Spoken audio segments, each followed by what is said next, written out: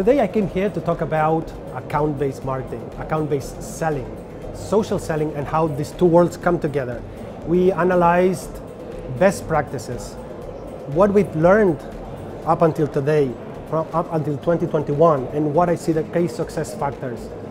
We've gone from an individual approach, just enthusiastic serendipity approach to sales and LinkedIn and social selling and digital selling to a more structured corporate approach where we have visibility, science, and we have predictability of results. And that's what we want as organizations today. We had a great time today at the uh, conference. In my talk, I, what I specifically did, I touched on what is social selling, what is account based marketing, what is account based selling, and how these two worlds work together. And we saw best practices, and unfortunately, what practices did not work up until today, what we learned from that, key learnings, and also looking to the future.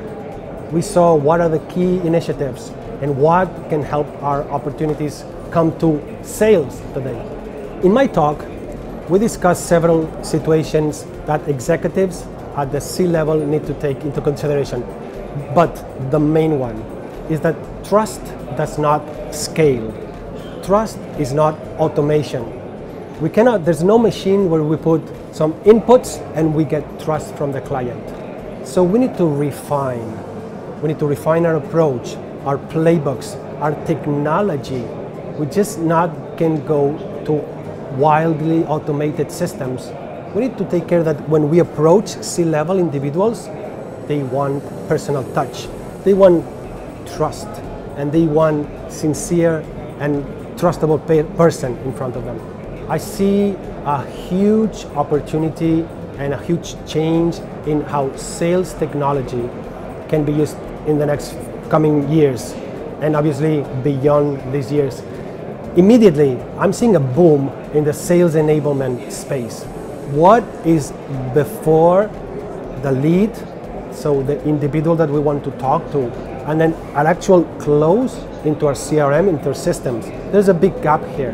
How we enable our sales professionals to be more productive and to structure their work to take one person from a lead to a close. And unfortunately, the systems that we have today don't help there that's where I see a big opportunity in this sales acceleration space.